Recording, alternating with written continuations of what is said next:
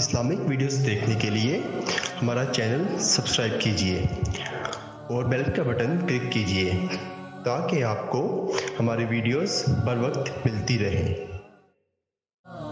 सही मुस्लिम, हदीस नंबर छः। मोहम्मद बिन कैस अस्ती ने अली बिन रबिया अस्ती से उन्होंने हज़रत मुगीरा बिन शिबा रज़ी अल्लाह तहो उन्होंने नबी अकरम सल्लल्लाहु वसल्लम से इसी तरह रवायत की। लेकिन बिलाशुबा मुझ पर झूठ बोलना इस तरह नहीं जैसे किसी एक आम आदमी पर झूठ बोलना है, का जुमला बयान नहीं किया। सही मुस्लिम, हदीस नंबर सात।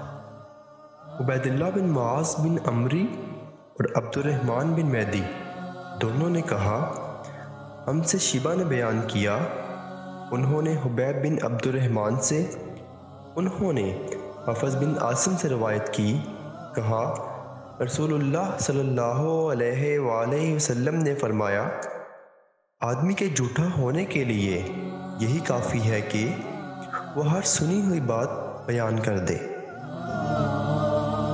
सही मुस्लिम, हदीस नंबर आठ वो बकर बिन अबी शिबा अली बिन हफस ने शिबा से उन्होंने उबैब बिन अब्दुलरहमान से, उन्होंने हफस बिन आसम से, उन्होंने हज़रत अबू हरा रज़ी अल्लाह से, उन्होंने नबी अकरम सल्लल्लाहु अलैहि वसल्लम से इसके मानंद रवायत की।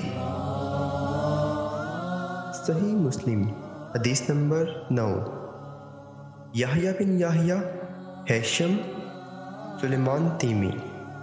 Usman Nahdi से रवायत है, कहा, उमर बिन खत्ताब रज़ी अल्लाह ने फरमाया, आदमी के लिए झूठ से इतना काफ़ी है, जिसकी बिना पर वो झूठा करा दिया जा सकता है, कि वो हर सुनी हुई बात बयान कर दे।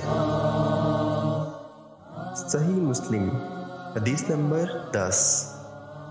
इब्ने वाहब ने खबर दी, कहा मालक बिन अनस ने मुझसे कहा, मुझे मालूम है कि ऐसा आदमी सही सालम नहीं होता जो हर सुनी हुई बात आगे बयान कर दे। वो कभी इमाम नहीं बन सकता जबकि वो हर सुनी हुई बात आगे बयान कर देता है। इस्लामिक वीडियोस देखने के लिए हमारा चैनल सब्सक्राइब कीजिए और बेल का बटन क्लिक कीजिए। ताकि आपको हमारी वीडियोस बर वक्त मिलती रहें।